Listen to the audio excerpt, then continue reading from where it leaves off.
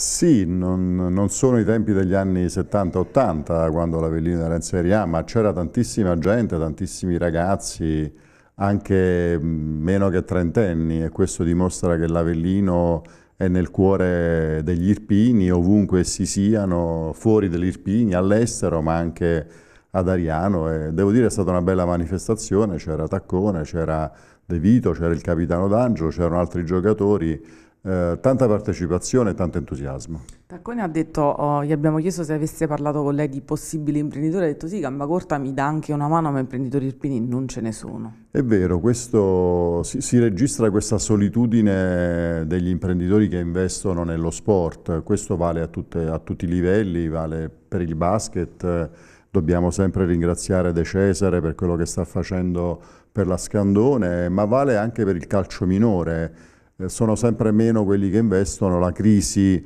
eh, delle, attività, delle attività produttive, delle attività del terziario riguarda ovviamente anche gli investimenti in questo settore. È un grande appassionato di Scandone, questo primato, questa squadra che vola, il segreto qual è?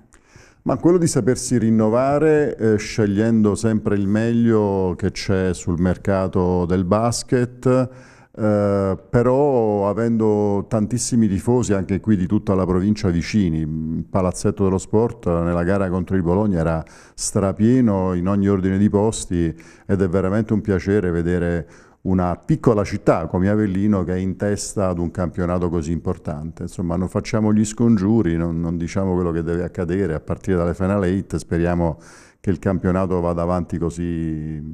fino alla fine. Per chiudere, cosa pensa della candidatura di Cosimo Sibilia alla presidenza della FIGC? È una candidatura molto autorevole, mm, tanto Sibilia è un vincente, in politica ha sempre ottenuto risultati eccellenti, nello sport quando si è cimentato la stessa cosa, il calcio sa rigenerarsi, credo che questa, però ci vuole anche un presidente che sia capace di cambiare un po' le regole perché probabilmente qualcosa va cambiato nel meccanismo del calcio italiano in questo momento.